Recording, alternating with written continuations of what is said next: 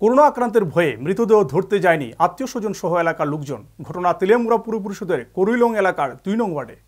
Corona আক্রান্তের ভয়ে মৃতদেহ ধরতে যায়নি আত্মীয় স্বজন সহ এলাকার লোকজন। ঘটনা তেলিয়ামুড়া পুর পরিষদের করিলং এলাকার দুই নং ওয়ার্ডে। ঘটনার বিবরণে জানা যায়, এই এলাকার বাসিন্দা উমেশ সাহার ছোট ছেলে মৃণাল কান্তি সাহা গত কিছুদিন যাবৎ জ্বর, সর্দি, কাশিতে ভুগছিলেন। শনিবার সকাল নাগাদ শ্বাসকষ্ট অনুভূত হয় তার। কিছুক্ষণ বাদেই মৃত্যু হয়। এই খবর চাউর হতেই এলাকার লোকজন সহ আত্মীয় পরিজনরা সবাই আসে, কিন্তু কেউ বাড়ির ভেতর প্রবেশ করেনি। দূর থেকে সবাই কথা বলে। তারা জানায়, করোনা আক্রান্তের ভয়েই তারা দূরে থাকে।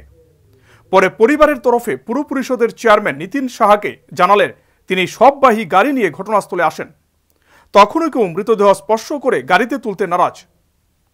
পুরপিতা জানান, গত কিছুদিন পূর্বে আশাকর্মীরা যখন বাড়িতে আসে সার্ভে করার জন্য, তখন তারা ভুল তথ্য দেয় আশাকর্মীদের। আমার কাছে যে করলং মাধব সার ছেলে নাকি মারা গেছে। এখন এলাকারবাসী সন্দেহ ওনার নাকি জ্বর ছিল আজকে থেকে পাঁচ সাত দিন আগে এবং শ্বাসকষ্ট হয়েছে। মানে ওনার শরীরে করোনার জাম আছে এরকম, সবাই ধারণা করছে, পাড়া এলাকাবাসী। কোভিড নাইন্টিনের যে ভলেন্টিয়ার্স মিলে আমরা প্রত্যেক বাড়িতে সার্ভে করেছিলাম তাদের বাড়িতে সার্ভের টিম এসছিল। ভুল রিপোর্ট দিয়েছে, তখন বলেছে যে কোনো সর্দি, কাশি, জ্বর বা পেট খারাপ এরকম কোনো সিমটম এদিকে মৃত ব্যক্তির আত্মীয় স্বজনরা জানায়, তারা কিছুদিন আগে শুনে জ্বর সর্দির কথা, কিন্তু আজ হঠাৎই শুনে মারা গেছে। তবে করোনার ভয়েই তারা বাড়িতে প্রবেশ করতে চাইছে না বলে জানায়।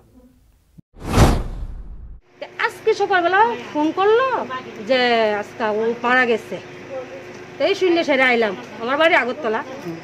বয়স কীরকম হবে আপনার বয়স তো চল্লিশ পঁয়তাল্লিশ এরকম এর নাম কি? এর নাম এমনি তো ভালো না মৃলার কান্তি আর এমনি পান্না আমরা ডাকি তো আপনারা আইসেন খবর শুন না। কি কারণে আপনারা বাড়িতে গেছেন না? না তো ওখানে আনতাছি তো যাইতে পারতাছি না আর কি করোনা নেই নাকি এই কারণে আর কি যাই না। কিছুদিন যাবৎ মৃণালকান্তি সাহা জ্বর সর্দিতে ভুগলেও কি কারণে চিকিৎসকের শরণাপন্ন হয়ে কোভিড নাইন্টিন টেস্ট করানো হয়নি, কেনই বা আশাকর্মীদের কাছে তথ্য লুকানো হলো, এ নিয়ে প্রশ্ন উঠছে। Bureau report, news media city.